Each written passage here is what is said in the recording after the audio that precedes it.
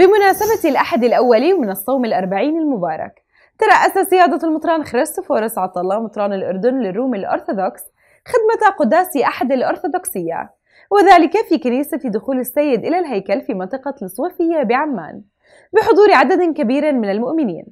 تلا القداس زياح الأيقونات داخل الكنيسة. التفاصيل في سياق التقرير التالي.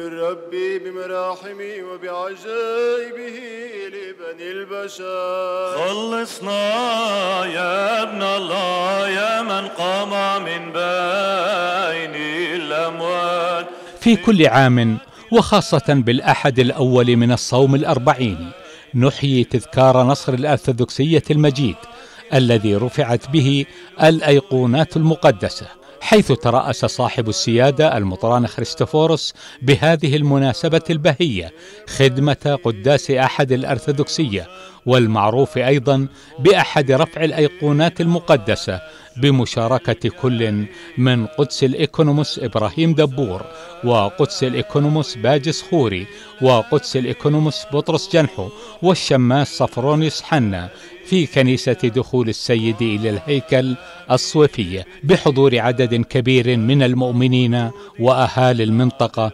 المحتفلين بهذه المناسبة.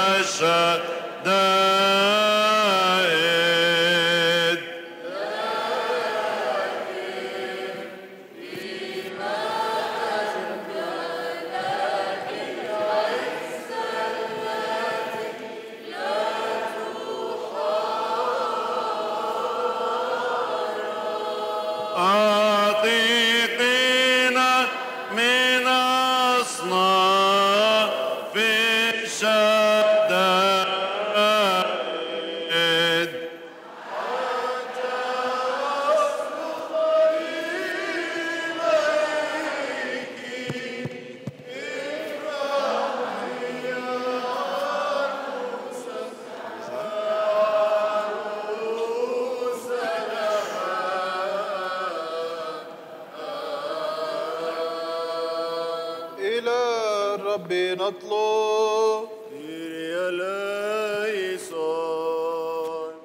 وأشار صاحب السيادة في عظة القداس بأن كنيستنا المقدسة وضعت أحد الأرثوذكسية الأحد الأول من الصيام لكي نعلن إيماننا المستقيم الرأي لنكون بعلاقة سليمة مع الله ومع الآخر وأيضا تكريما للأيقونات مؤكدا أنه بالإضافة للأيقونات التي تعلق بالكنيسة نحن أيضا أيقونات حية وصورة الله الحي فينا. اليوم الكنيسة كمان منعيش أحد الأرثوذكسية اللي هي أحد رفع الإيقونات المقدسة. ونحن اليوم بعد ما نخلص المناولة بدنا نعمل دورة في الكنيسة بالإيقونات المقدسة. رح نبلش من رواق الكنيسة ونمتد لكل زوايا الكنيسة اللي فيها رح نحكي دستور الإيمان نرفع الإيقونات المقدسة ونشكر ربنا على نعمة الإيقونة اللي أعطانا إياها في الكنيسة مصدر لل- لل- لل- للعجائب اللي منها عجائب بتصير دائما باستمرار وبدي أطلب منكم إشي ما تسمحوا. لأي فكر يدخل لأفكاركم غريبة عن إيماننا مثل يحكوا لكم ما تزوروا الإيقونات لأنه من خلالها رح يصير في مرض. أو يحكي لكم ما تجوش على الكنائس لأنه في الكنائس رح يصير مرض. انتبهوا الشيطان أي ظرف بمر فيه العالم بيستغله حتى يمشي مخططه الشيطاني. أنتوا كونوا حكماء ونحن أبائكم الروحيين بننبهكم بكل محبة في قلبنا لإلكم ولخلاصكم. أوعكم تنجرفوا ولا هاي الكلام ولا هذا الكلام. أوعوا يخطر بذهنكم أي فكر بسيط إنه نحن بنتناول من معلقة واحدة. أوعكم أبنائي. بنحكي يتناول عبد الله جسد ودم الرب والمخلص يسوع المسيح لمغفرة خطاياك لحياتك الأبدية وشفاء النفس والجسد. ألفين سنة والكنيسة بتناول وما عمره إنسان واحد طول مسارها ما انعدى. أوعكم تدخل هاي الأفكار في أي ذهن واحد منا. مرأة أوبئة وأمراض كتير أخطر من الأمراض من كورونا ومن كل إشي بنسمعه. نعم نحن رح نأخذ احتياطاتنا الاحتياطات اللي بيحكوا لنا إياها النظافة الشخصية الإيدين عدم التقبيل شو إيش بيشوفوه هن بيأخذوه. ولكن نحن بدنا ننتبه ما يصير عندنا ذعر وخوف ما يأثر على إيماننا المسيحي وعلاقتنا مع الكنيسة وربنا وأسرار الكنيسة. وأهم إشي نتطهر من وسخ الخطايا. توبة. إذا فرجينا توبة لربنا ربنا رح يحمينا. ما في خوف. في البيت التائب في المدرسة التائبة في المؤسسة التائبة في وين في توبة المسيح حاضر بطهر وبشفي من كل المخاطر والأمراض والضيقات. آخر شيء فكرة اليوم بأحد الإيقونات كمان نحن في أحد الإيقونات بنكرم إيقونة الله اللي في كل واحد فينا. عشان هيك اليوم الكنيسة بتنبهنا كيف تكون علاقتنا بالقريب ومن هو القريب بالنسبة لنا كل أخ إنسان هو القريب بالنسبة لنا علينا أن نحبه نتعامل معه بمحبة وبرأفة. ننتبه على هذا الشيء علاقتنا ببعضنا البعض تكون علاقة سليمة ومتينة لأنه هي هي إيقونة إلهنا المتجسد اللي هو تجسد من أجلنا لبس صورتنا حتى يألهها يقدسها. فبالتالي كل واحد منا بيحمل صورة الله أبنائي. كل سنة وأنتم سالمين.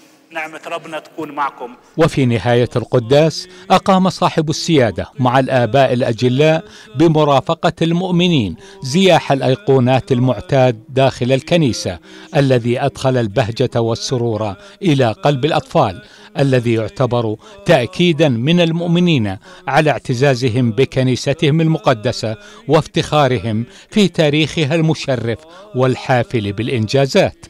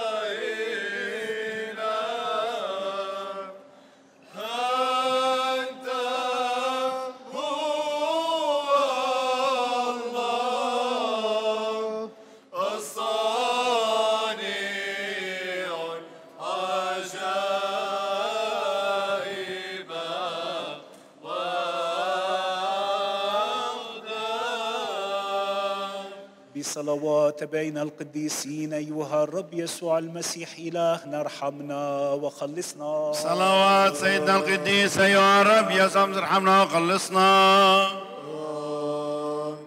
الثالوث القدوس ليحفظكم جميع أيام حياتكم وسنيكم أبنائي عديدة ومباركة وبالقداسة. كل سنة وأنتم سالمين أبنائي. بركة الإيقونة نعمة المسيح أمنا الفائقة القداسة وجميع القديسين والقديسات. يرافقوا كل بيت من بيوتنا ويكونوا حاضرين فيه حتى يحموه بشفاعتهم لدى الرب الإله. كل سنة وأنتم سالمين